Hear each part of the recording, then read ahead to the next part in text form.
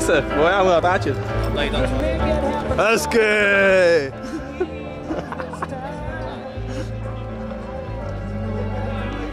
Další kategorie, kterou tady teď máme na řadě, je kategorie na 3,5 tisíce kubických centimetrů. No, tak já nestráme Speciál. nebo na to. A třetí Amatéři místo obsadil. Milan Mlejnecký, Nissan GTR s časem 1170. Druhé místo, tam je Honza, taky Nissan GTR.